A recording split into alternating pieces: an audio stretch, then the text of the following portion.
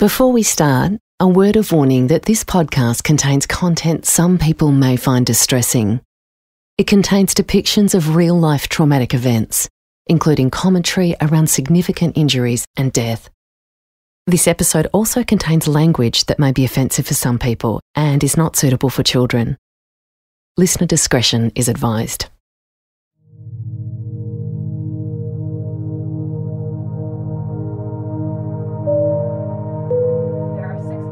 My name's David Horder, and my parents were Howard and Susan Horder, and they were on board flight MH17, and they were seated in 2K and 2J. Dad was seated on the window seat, and we know this because Mum would always sit on the left hand side of Dad because that was his good ear. The story of Brisbane couple Howard and Susan Horder was that of a classic love story. Mum and Dad were definitely best friends. They always had each other's backs. They were um, next door neighbours when they were uh, children, and I think there was one or two houses that separated them when they were kids. And Dad was one year older but yeah, everyone on the street knew each other. And they went to the same high school, but obviously dad was a year ahead. Apparently, when they were kids, dad used to throw uh, rocks at mum, which is what we do when we like someone, right? And I believe dad asked mum to his senior school formal and then that's how they started dating. And yeah, the rest is history. In July 2014, Howard and Susan were enjoying one of the many perks that came with being retirees having the freedom to travel. It was something they'd always loved doing. They were big caravanners, so they were always doing trips, and their caravanning never stopped. And was what they were doing right up until they retired. And they always had a beautiful van and a beautiful car. On this particular trip, they'd taken advantage of the Northern Hemisphere summer to explore the UK and Europe and to spend time with David, one of their three sons. I lived in London for 13 years, which is where I was living when the plane was shot down. Those 13 years, they'd come over to London and they would visit me and we'd catch up, and it was always really, really good.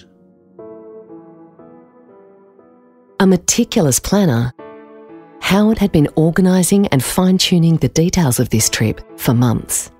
Super organised. Uh, itinerary, daily budget, everything was was was planned. So you know, mum and dad, they're just if they were told they've got to get to the airport three hours before to check in, they would have been there three and a half hours before to check in and would have been the first ones to board. And they would have been super early, super organized. They were on their way home. There was no question that they would um, be late for their flights. Yeah, not a possibility. I can't tell you exactly when, but a conversation took place about the fact that dad had booked Malaysian Airlines, and it was obviously after um, MH370 had disappeared. And I said to him, It's probably the safest airline, dad. Like, it's the safest airline. They've, it's, it's already happened. What are the chances? The chances are extremely low.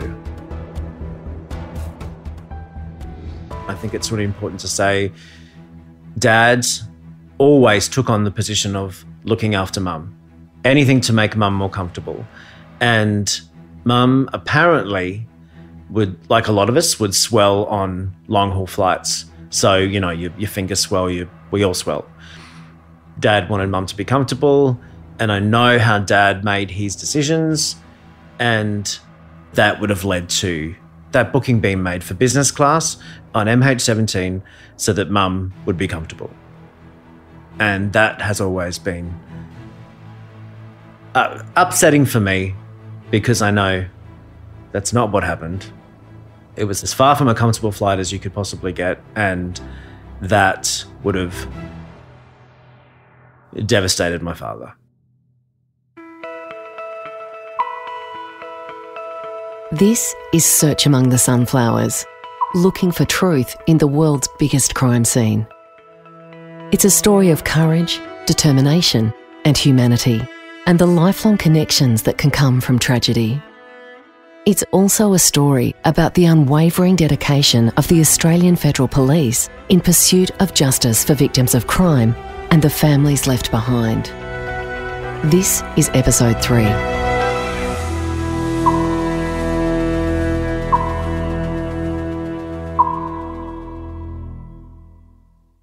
On July 17, 2014, Malaysia Airlines flight MH17, en route from Amsterdam to Kuala Lumpur, broke up in midair over the Donbass region of Ukraine and fell to ground not far from the Russian border.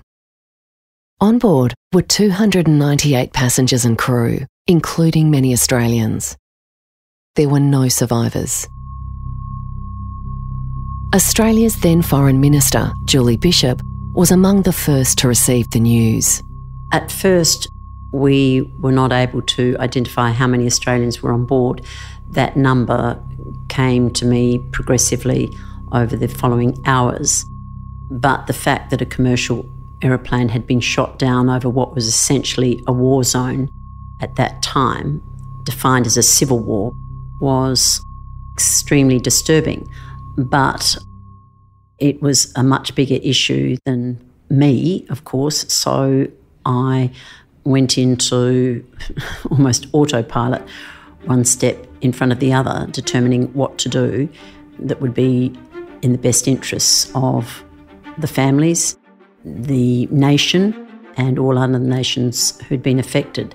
So I didn't have time to think about how distressing it was personally my thoughts were always for those who had lost their families and loved ones aboard MH17. In London, David Horder was having a normal Thursday. Earlier, his mum and dad sent him text messages letting him know they were about to board their flight in Amsterdam. It was the end of another great holiday, and his parents were eager to get home for their granddaughter's birthday. Those texts were the last he heard from them. I actually had that day off on the 17th of July. And um, I'd gotten up and I went down to Kingston and I did a big food shop at Marks and Spencer. I was living in Surbiton, did the food shop in Kingston. On the bus trip back with my groceries, this is actually something that I, I don't even know if I've ever said to anybody. I got the weirdest pain in my stomach. Went home. I was sharing with Claire, um, who was just a gorgeous, gorgeous person. She owned the place that I was living in, so I was um, had one of her rooms, and she was home.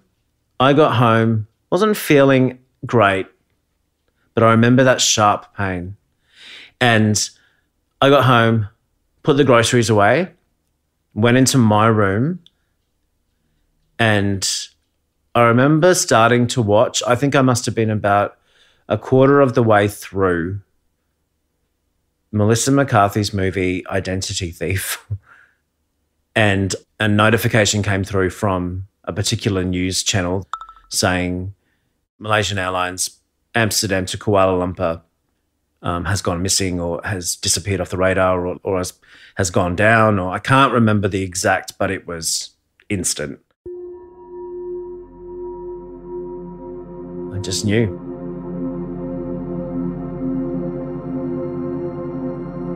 There was never, ever a moment for me in my head where they weren't on the plane because I had those text messages. And I remember just the shock of Amsterdam, Kuala Lumpur. I knew they were on that route. I knew they were on Malaysian Airlines. And I knew what time they'd sent those text messages. And I knew where Ukraine was. So for me, it was instant. I went next door to Claire. I turned on the TV and it was already there. And I remember seeing that black cloud of smoke, like jet fuel black. And I just, I was, I just knew they, I don't think anyone survived that. I pointed to the TV and I said, I think mum and dad are on that flight. I think they're gone. I think, yeah, I think we've lost, I think I've lost my parents.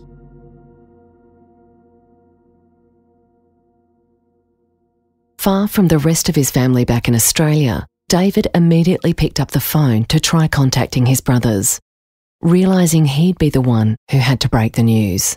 My older brother, Matthew, on the Sunshine Coast, I tried the mobile, tried the home number, could not wake them. Keeping in mind it's two, three in the morning in Australia. My younger brother, Adam, who lives in Melbourne, he did answer. And um, I think in Adam's head, he was hoping that it was just me, David, being a bit dramatic, which, if you know me, could well be the case, but I knew. The tough calls didn't end there. I rang mum's dad, my grandfather, because I knew that mum always sent him and my older brother the itinerary. And my grandfather answered the phone he would have been in his late 80s, maybe even 90, sorry. Still living in the same house that mum grew up in. And mum's mum still there, both of them still alive, still living there. And I said to him, I said, Grandpa, I'm really sorry. I think mum and dad are on the plane that's on the news that MH17, and I, I just need you to have a look at the itinerary, please, and um, and let me know. I said because I, I think they're on it. I got text messages. He was very, very pragmatic man, very matter of fact. David, I will, I will have a look into that. And um, uh, we said goodbye. He never called back. Uh, how could he? He just lost his daughter at that age, in that circumstance. Everything just kind of happened, and a flight was booked for me, and you know, I was on my way home the next day and looked after really well. I wanted to get to Ukraine. Like, I just didn't understand why no one would let me book a flight to Ukraine because in my head, I'm the closest family member. I've got to get to them. That obviously didn't happen. A flight was booked for me to come back to Brisbane and be with my brothers and start managing what was an absolute shit fight for the following weeks, months, and years. But obviously, at the time, I could not comprehend the gravity of the situation.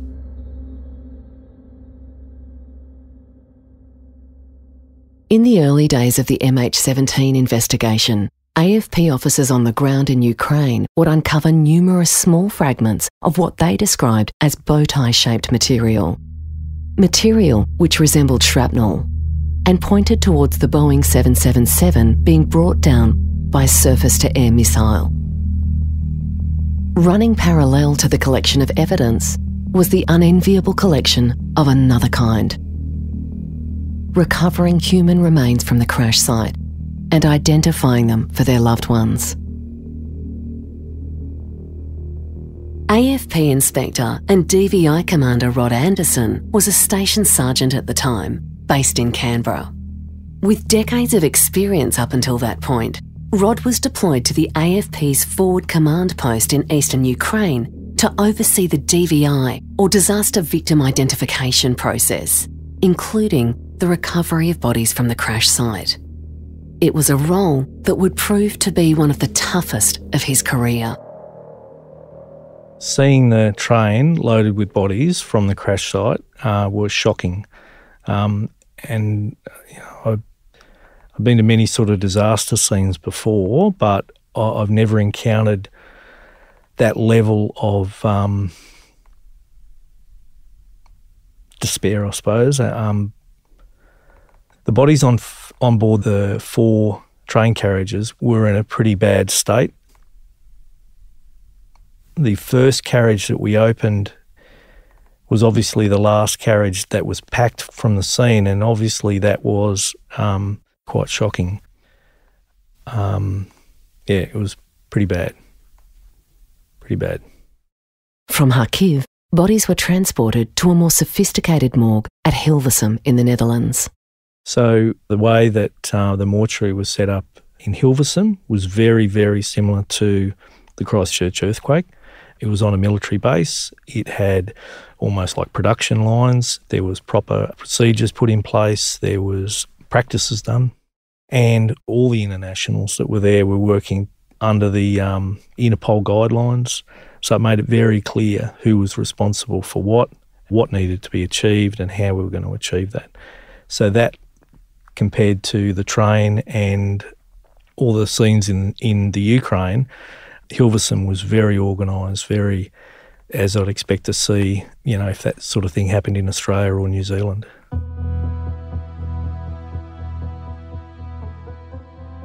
In 2014, Dr. Simon Walsh was the AFP's chief forensic scientist. Already highly specialised and experienced in DVI, he deployed directly to the Netherlands in the aftermath of the MH17 crash. Dr. Walsh had two responsibilities. One was overseeing the collection of forensic evidence as part of the criminal investigation. The other was the identification and repatriation of Australian victims. He'd be working alongside DVI experts and forensic scientists from around the world tasked with setting up and managing the victim identification process inside Hilversum. Those operations are often really large and really complex. So, our planning in terms of deployed resources was very much focused on the recovery and what was required at the scene, and then the analysis and what was required in that mortuary phase. Um, by the time I landed, you know, the, the real emphasis for us was going to be for the victim identification and investigation work that we could do with our counterparts in the Netherlands. Simon arrived in the Netherlands four days after MH17 came down. The bodies from the crash site arrived not long after. The remains came back into the Netherlands a little over a week after the incident. So by that stage, you know, there would have been well over 300, 400 specialists already in country. The facility had been completely transformed in order to do the work that was ultimately going to occur there. And the remains had been repatriated from Ukraine back to the Netherlands. And I think everyone would remember those moments. Um, and, and work was ready to commence. When the train arrived at the original plant and the body bags were processed, um, we would assign a number, a post mortem number, like a barcode, to every example or instance of recovered human remains. So it might be an intact body or it might not, but the mortuary process will then work through all of those recovered remains.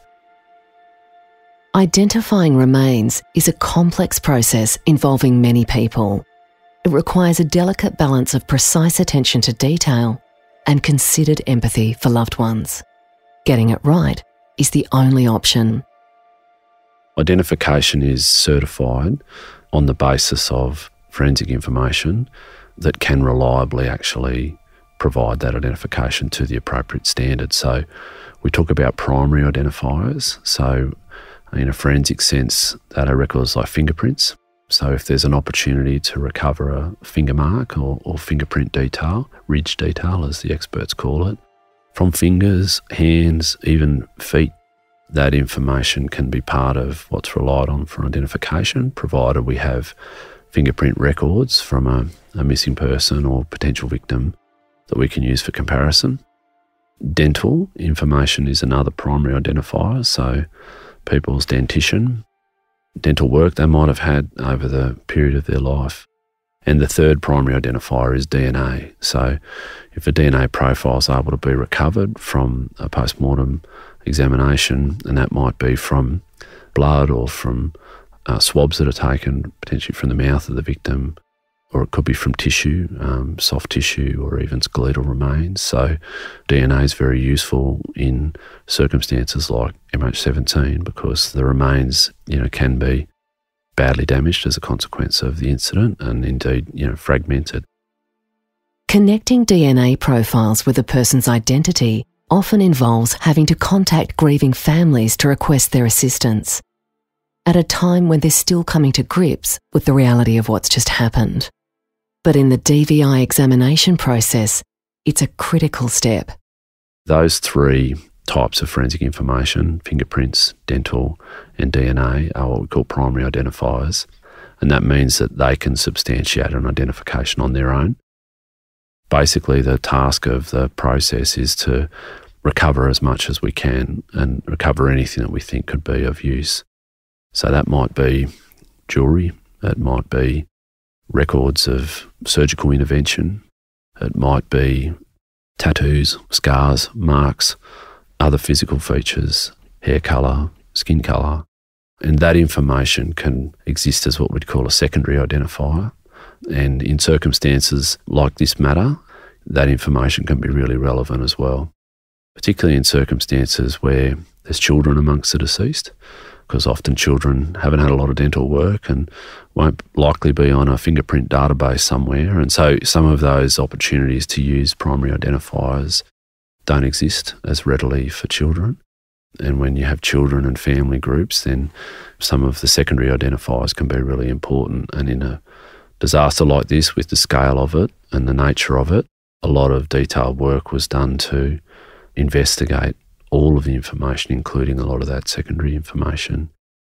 In terms of the overall incident, out of the 298 victims, 296 were formally identified. And there were two victims um, from the Netherlands who we never located their remains. And the Dutch, um, you know, had to draw a close formally to the operation, but they do continue to try and work on that issue to see if they can find any way to, to have a formal identification for those two members. From an Australian perspective, we were trying to identify 41 of the victims. So there were 38 who were either Australian citizens or residents of Australia. And there were another three who were resident in Australia at the time of the incident that we had some responsibility to support their identification as well in partnership with their home country for Australian families and the loved ones of those on board MH17, the identification process was heartbreakingly long. But it was so important to get it right. Care and respect were paramount when it came to the AFP updating next of kin with the information they needed. It was a responsibility felt across the entire organisation and halfway across the world there was a great sense of representing the Australian families. We've all got families. I could think of nothing worse than thinking a family member of mine was still lying somewhere in a crash site. We didn't know what we didn't know. So to give them some level of satisfaction that we've searched the crash site, any body parts that were there we've been able to take. Secondary to that also is that terrible feeling is that if we weren't able to identify all of the victims, I don't think that's going to give closure to everybody either. And we were lucky enough that we actually collected enough material that we were able to identify all of the people that we believed to be on the flight. And so all of the victims could be laid to rest, but also give closure to the families. And I think that was probably the biggest driving factor, certainly for me. And that, you know, that time I picked up the paperwork, that just reinforced exactly primarily what it was that we were doing and why we were there.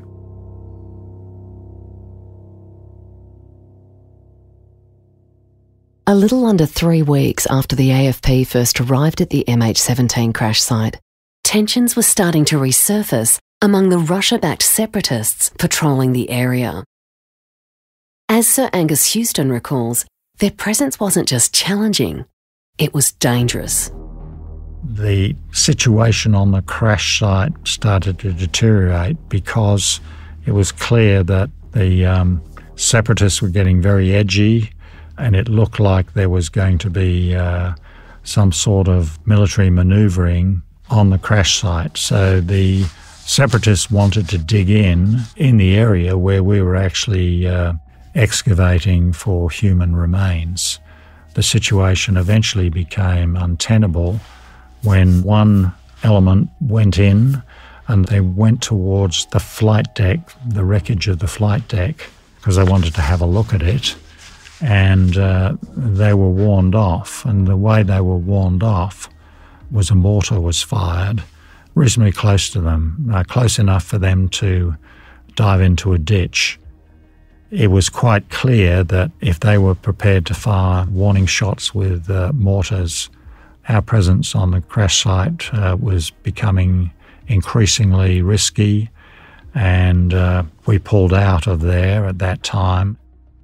It was probably um, a total of 10 or so good days doing the work.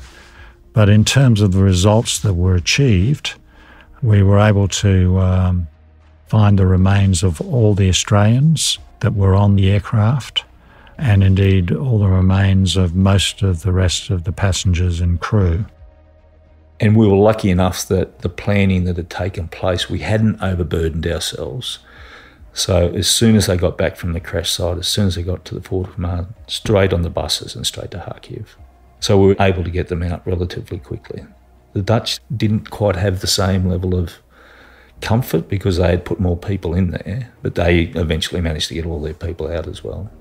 Now, bearing in mind, the, the comms were pretty difficult anyway. We were operating on open source, on phones, a whole variety of things, but they just went dark. Gone, mm, that's a pretty good message.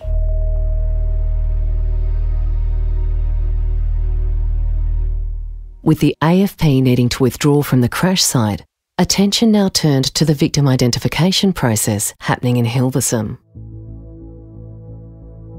Next of kin were desperate for information and confirmation that their loved ones would be coming home, complete or otherwise. To help with this, Australian families were connected with the AFP's FILO team. When an Australian is harmed or killed overseas, the FILOs, or Family Investigative Liaison Officers, act as a conduit between investigators, forensic experts like Dr. Simon Walsh, and the victims' families. Part of the FILO role is to navigate some emotionally difficult conversations with families about their loved ones' remains. There are some important issues that need to be discussed and decided both formally, but also importantly with families as well. So, one of the things that our family investigative liaison officers do in this circumstance and why they're so critical is they provide a bit of a bridge to what we're trying to do and the work we're doing operationally and through our forensic and victim identification processes help the families to firstly understand what's happening, have an appreciation of the type of work that is going on and why it's necessary, uh, obviously, ways in which the family can contribute and support that work through the collection of the ante mortem information, including information from themselves and information they can provide about their missing loved one. But also then to speak to them about some of the considerations that you know we'd appreciate their input on with respect to decisions about their loved ones that might be necessary to make in the context of an investigation or an operation like this. So, those sorts of decisions can be, for example, when our team have made an identification that relates to you know, one of your missing loved ones or your missing loved one, would you like to be notified at that stage? Because it could be that subsequent examinations will recover other remains that are also identified as your missing loved one.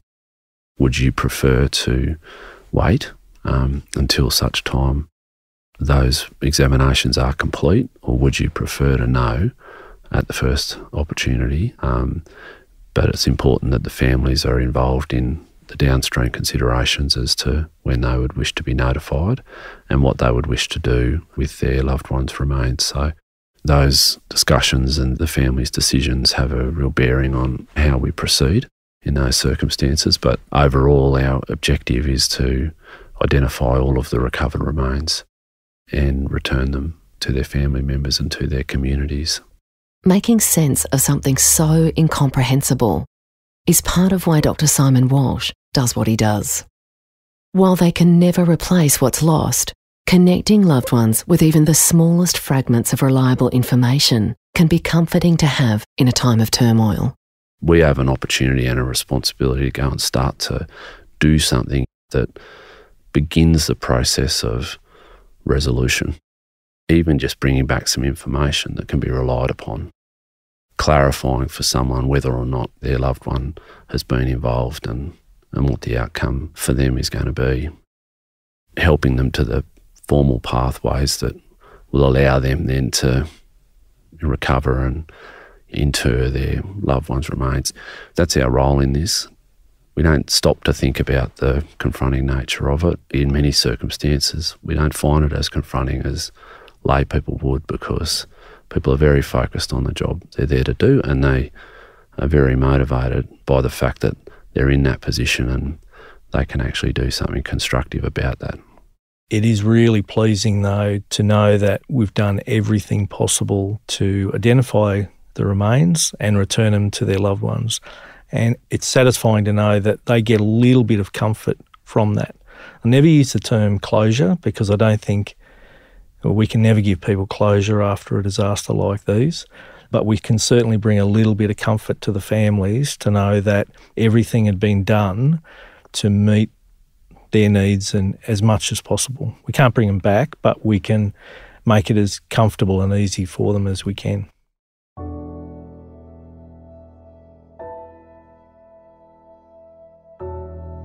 The complex, difficult work done by DVI experts like Rod Anderson and Dr. Simon Walsh doesn't repair the emotional damage from a tragedy like MH17. But with care, consideration, and time, it can be a powerful tool on the journey through grief and remembrance. There's some really dark memories, but I I think the one for me that's the most special was getting them home. So seeing the Australian military personnel escort my parents. The coffins were draped in Australian flags and placed into the hearses. And for us to watch that and the respect that they were given and the love they were given and and then we were able to go and walk up to the coffins and welcome them home and just the gravity of mum and dad being there next to each other with the Australian flags over them and the journey they'd been on to get into Melbourne was quite mind blowing and that's a real a real highlight. It's like we got them home. They're home. They're safe. And they were just treated so beautifully and with so much respect. And I think the moment that they got to the Netherlands, they were finally given some respect and dignity that they were not shown um, at 33,000 feet or on the ground in Ukraine. Recovering and identifying the victims of MH17 was first and foremost what the AFP had always set out to do, but it was only part of their mission. With their collective skill set as forensic investigators, it was only natural that collection of evidence and analysis of that evidence for use in a possible criminal trial would complete the circle. The images of the signature shrapnel fragments, these bow tie fragments, when I saw them, it was one of the first days of the mortuary operation, being able to say to my Dutch counterparts, this is what we're looking for, this is what we're looking for. The first time that we got pieces of the weapon so that we knew that MH17 team was shot down with a Buk missile. That was a moment of happiness, of course, for us. They dropped one of those fragments into my hand, and they're like, We've got them.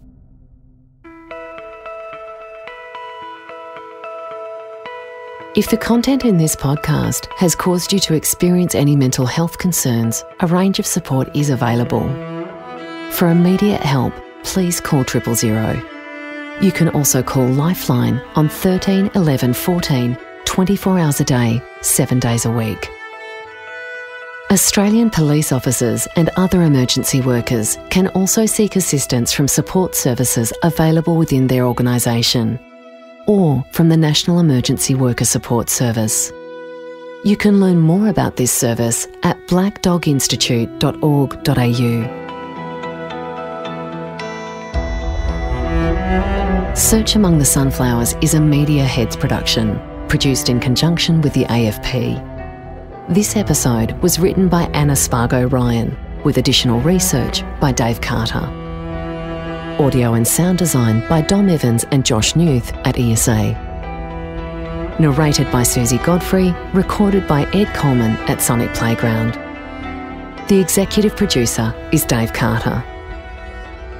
The opinions, beliefs, and viewpoints expressed by the people featured in this podcast are based on personal recollections and don't necessarily reflect the opinions, beliefs, and viewpoints of the AFP. To learn more about the work of the AFP, follow them on Facebook, Instagram, Twitter, and LinkedIn, or visit afp.gov.au slash careers.